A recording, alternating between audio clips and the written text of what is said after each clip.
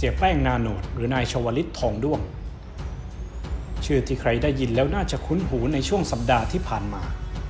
จากคดีหลบหนีออกจากโรงพยาบาลเมื่อวันที่ 22 ตุลาคม และจนถึงขณะนี้ตำรวจยังคงอยู่ระหว่างการไล่ล่าติดตามตัว โดยไทม์ไลน์ของคดีนี้เริ่มตั้งแต่วันที่ 20 ตุลาคม เจ้าหน้าที่ได้คุมตัวเสียแป้งมารักษาฟันตามนัดแพทย์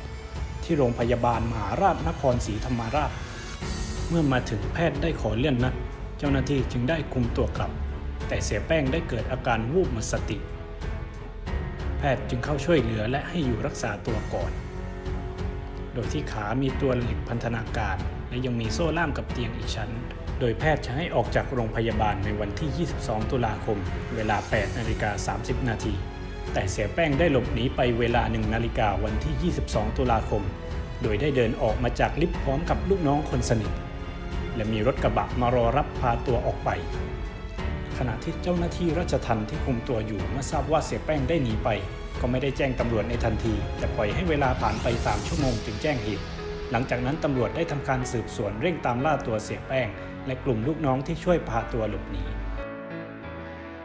โดยได้มีการออกหมายจับผู้ต้องหาในคดีนี้รวมทั้งสิ้น 8 ราย ซึ่งปัจจุบันสามารถตามจับกลุ่มได้แล้ว 7 ราย เหลือเพียงตัวของเสียแป้งที่ยังคงหลบหนีอยู่ ขณะเดียวกันแหล่งข่าวได้ให้ข้อมูลว่าการหลบหนีของเสียแป้งนั้น